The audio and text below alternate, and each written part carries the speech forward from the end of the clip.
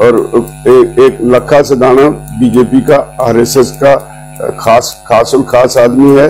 और ए, एक सॉरी लखा सदाना नहीं दीप सिद्धू दीप सिद्धू आरएसएस का खास और खास आदमी है।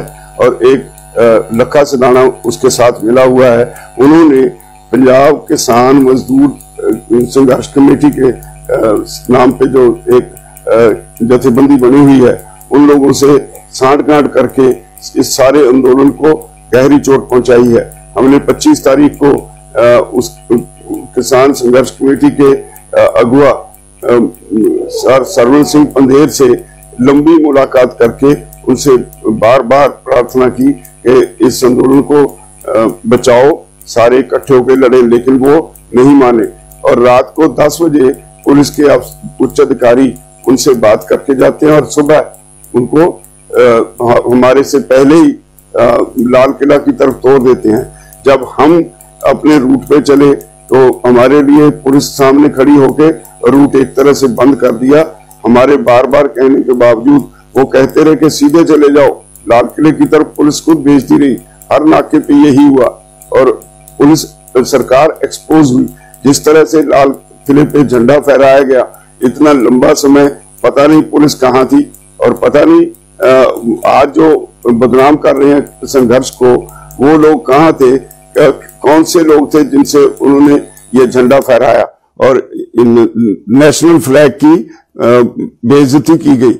हमें इसका बहुत खेद है। हमने, हालाँकि हमारी इसमें कोई गलती नहीं, क्योंकि आंदोलन की शुरुआत हमने की थी। इसलिए कल हमने प्रेस कॉन्फ्रेंस करके इसके लिए भी अपनी इखलाकी जिम्मेवारी समझते हुए माफ़ी मांगी देशवासियों से कि अगर किसी ने भी इस आंदोलन का नाम लेके नेशनल फ्लैग की बेअदबी की है तो हम उसकी उसके लिए हमें खेद है।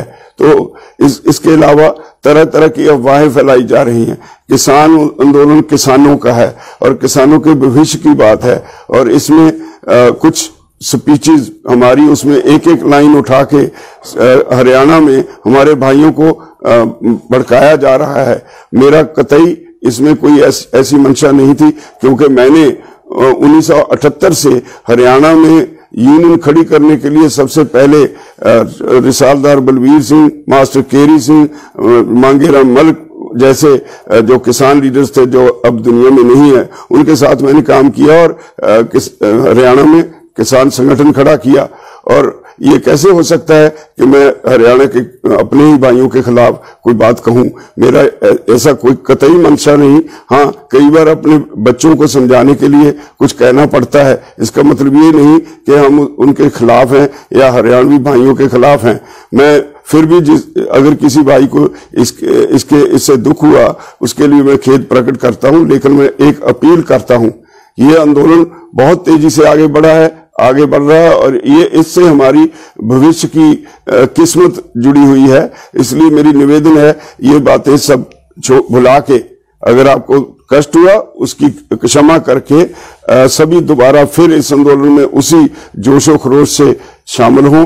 जैसे पहले हरियाणा और पंजाब दोनों भाई इकट्ठे अलग अलग बॉर्डर्स पे बैठे थे यूपी वाले अपनी जगह बैठे थे उत्तराखंड के लोग बैठे थे मध्य प्रदेश के लोग बैठे थे महाराष्ट्र के लोग बैठे थे सभी देश के अलग अलग राज्यों से लोग बैठे थे। लेकिन पंजाब और हरियाणा की संख्या सबसे ज़्यादा सी, और ये ये पंजाब और हरियाणा ही ये इस आंदोलन के साथ देश की किस्मत बदलने वाला था। लेकिन सरकार अपने षड्यंत्र षड्यंत्र में कामयाब हुई और एक गहरी चोट पहुंचाई गई।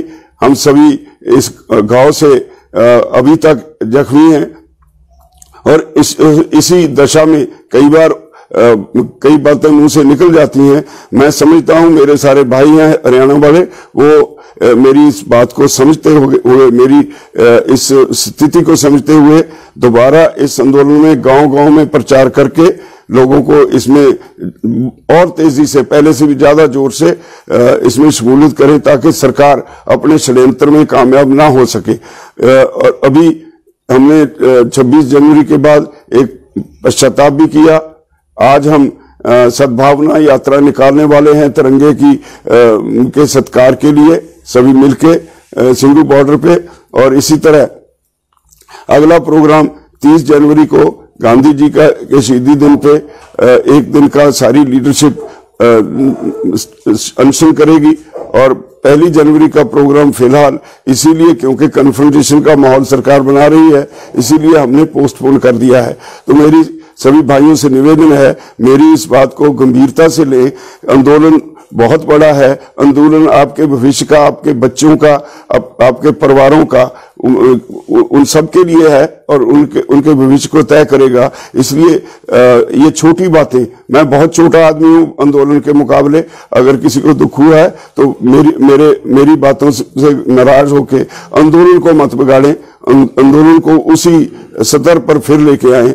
मैं उम्मीद करता हूँ कि सभी भाई मेरी इस बात बात को ज़रूर मानेंगे। धन्यवाद।